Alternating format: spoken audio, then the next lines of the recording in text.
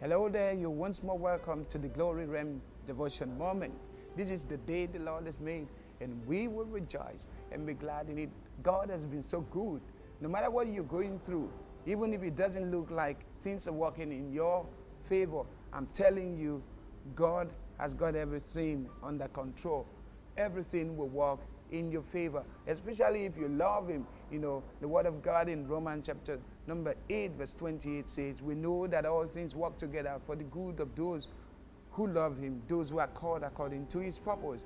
And so, if you love Him, you're called according to His purpose, you have an advantage. But if you don't, something is going to happen to you today on the broadcast. You know, yesterday on the broadcast, we were looking at, you know, the reality of the final days of Jesus' earthly ministry, you know, and he was talking with his disciples and he was trying to make them realize though he called 12 one of them in spite of all he's been doing has not really yielded himself to the things of god. And you know he was talking about the importance of believing in him what he has to offer as the messiah. And so we were reading from John chapter number 13, and we were in verse, we stopped at verse number 20, so I would want to start from verse 20 to give you a connection there. From verse 20, the word of God says, I assure you, most solemnly I tell you, he who receives and welcomes and takes into his heart any messenger of mine receives me in just that way. And he who receives and welcomes and take me into his heart receives him who sent me in that same way. So when you receive somebody who comes as a messenger of the Lord Jesus, you receive Jesus. And if you receive Jesus, you receive the Father who sent him. And so you are open up, opening up yourself to unusual glorious blessing. And if you receive the servant of God, then you received the Lord God Almighty you know, sometimes some people are so kind of obnoxious to servants of God, but this is just what is happening.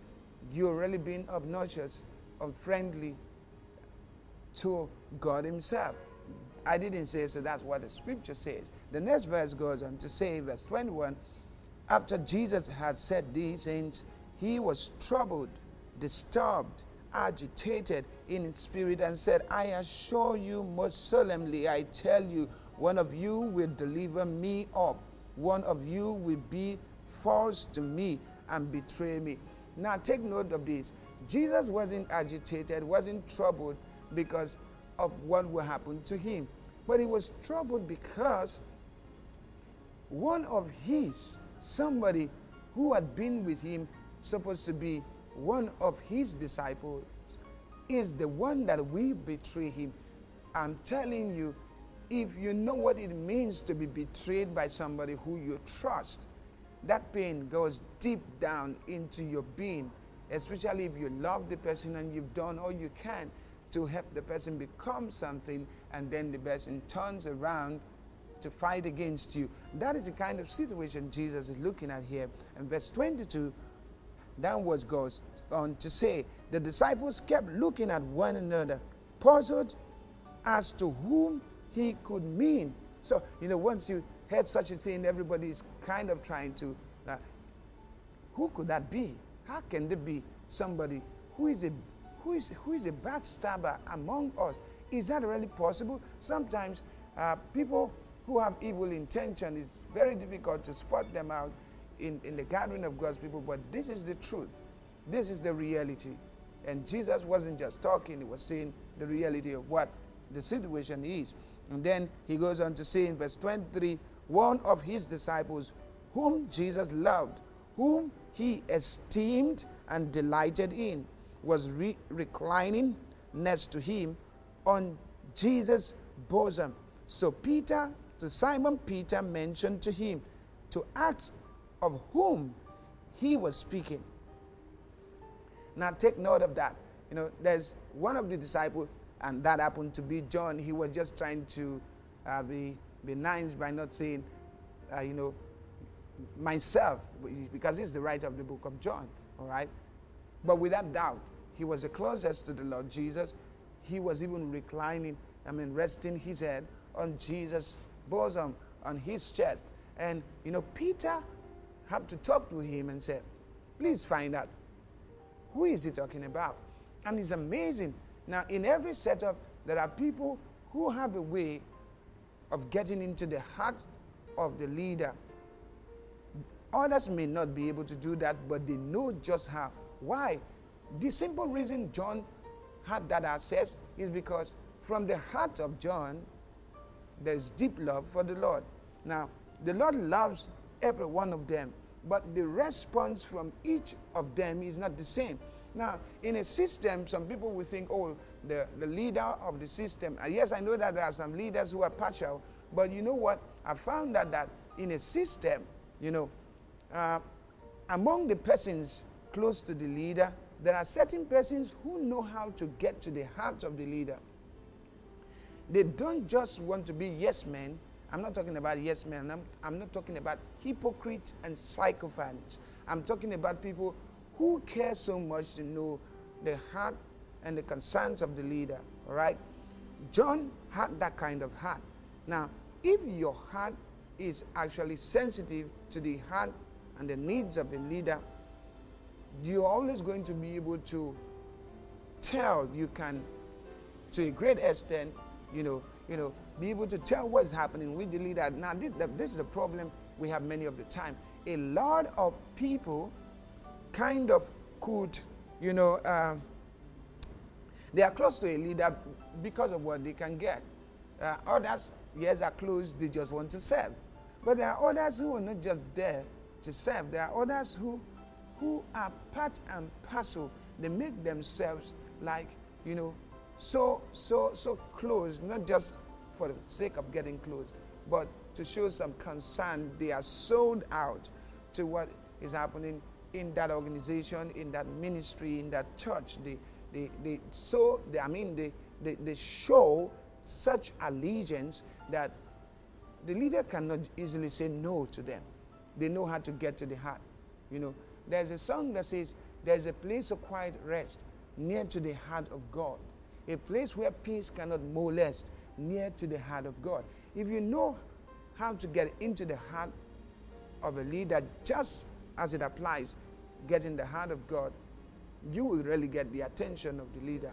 And so, Peter, even among the disciples, Peter was supposed to be the number one. But Peter knew that there is somebody who has greater access. And there's no need for, for unnecessary jealousy if you have such a person. And I like what Peter did. Peter leveraged on that reality and got across to Jesus through John because he knew that John know how to find his way to get the masters to speak. And so look at what happened.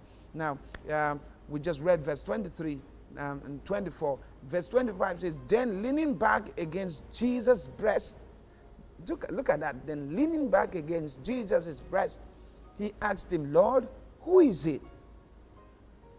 Jesus answered, It is the one to whom I am going to give this morsel, bit of food after I have dipped it. So when he had dipped and when he had dipped the morsel of bread into the ditch, he gave it to Judas, Simeon Iscariot's son. Now, this is serious. Now, but look at how John got the information. We're going to deal with that one later on. Look at how John got his information. John leaned on his breast again. You see, John showed affection that's one thing you would always get a response, response from Jesus. You don't find any affectionate worshiper, you know, left alone without the Lord attending to that person.